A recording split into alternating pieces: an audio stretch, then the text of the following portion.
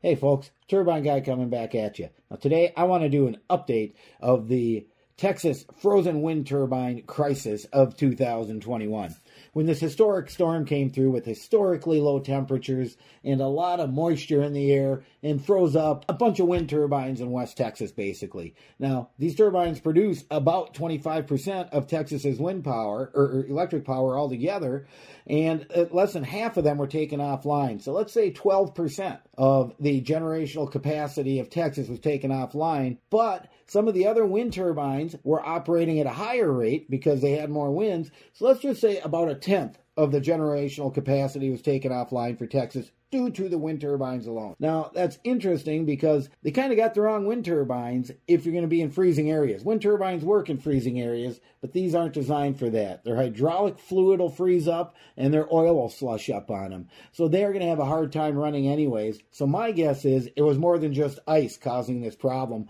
Maybe some of the turbines got cold. In fact, that happened in Minnesota in 2010, I believe, where they had bought a bunch of wind turbines, the big ones from California, reconditioned them and installed them, and didn't bother to think, hey, we might want to change out the hydraulic fluid and oil to meet a specification for a northern climate. So they had issues. Something else you can also do with these turbines is heat the blades. They do that in the northern climate so that you don't get the ice to stick. Sure, some wind turbines went down. We, we said maybe about 10% of the generational capacity of Texas, but that's not all that went down. According to ERCOT, ERCOT, okay, that is the Electrical Reliability Council of Texas, who runs their wholesaling type system for people. The uh, many different types, fuel types of generational plants went down. According to ERCOT, the Electrical Reliability Council of Texas, who runs this whole kind of wholesaling scheme and, and monitors it, there were many fuel type generation units that went down, not just wind. Natural gas went down. Of course, the solar's down during the day if the sun's not out and it's storming and icing up. So, you know, it wasn't just the wind that caused this issue. It was a combination of things, I'm sure, including power lines going down and high wind and other stuff like that. So to say it was just a wind turbine issue isn't very uh, knowledgeable about the situation. Now, another issue with this ERCOT is that they admit that they don't have backup idler plants in Texas. It's a just in time philosophy like Best Buy does, where you just have enough product on the floor for people to buy and you don't store any extra. Well, that's kind of how Texas works. They don't have like other areas like Arizona, Minnesota, or places where they've got an extra plant that they'll have idling along where if there's a spike during a peak demand, they can turn that on or just ramp it up right away and fill that spike with, with no losses. Not how it works in Texas. So just the overall framework of how the Texas generate electrical generation and distribution system is, is also to blame for what's gone on. Now the real interesting thing about all of this, and I found this graph and it shows electrical pricing from last Friday through today. Okay. And this is the wholesale price of a megawatt. And it was down to as low as 30 to $50 for a megawatt hour. 30 to $50. 3 to 5 cents a megawatt hour is what the wholesale price was out there. Well, now if you look at the right where it's peaked, we're at $9. $9. It cost them $9,000 for a megawatt hour, $9 for a kilowatt hour. So we're going from 2 to 3 cents to $9 for residential people who are hooked up. Now, of course, if your power's out, you don't have to pay this.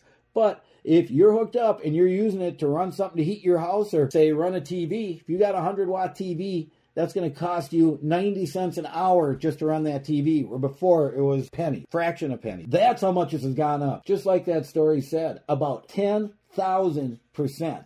And you can see in this graph on the left where it's kind of dipping around the bottom before any of this hit and you see that first spike. My guess might be that might be a plant went offline. And then it kind of came back down and then you can see where the storm hit. And every time you see these big spikes up, what you're seeing is plants going offline, the grid having issues, or, or, a combination of that to cause the price to go up because there isn't as much electricity out there for people to get. Now we can see it kind of drop back down right before today, and that's most likely nighttime when people aren't going to be using a lot. But then you get back to what's going on today, and it's peaked right back up, and it spiked at $9,000 a megawatt hour or $9 a kilowatt. My suggestion, turn them bulbs off, boys. Follow your kids around and turn everything off right now.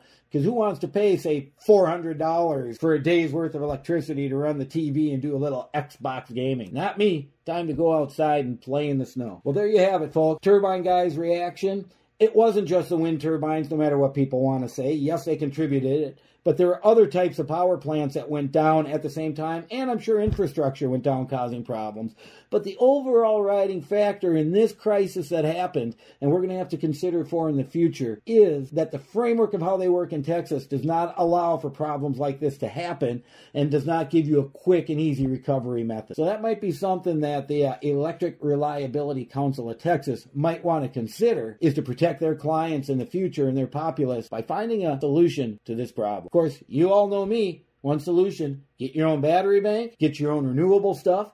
You know, if I'm sitting down in Texas and I got my own little micro wind turbine and my solar power and my battery's charged up when this storm starts, I got nothing to worry about. I just keep running my emergency loads and I wait till the problem passes and everything comes back on because my system's going to be designed to keep that battery bank charged up enough to run indefinite. So that's something to consider, folks. Time to start thinking of yourself and what you can do to protect yourself the next time this happens because last time it happened was 2018 in Texas during the summer during August, I believe, when it was really hot. Now it happened during a storm. My guess is this type of thing's only going to keep happening in a more frequent manner. That's it, folks. Turbine Guy, signing off.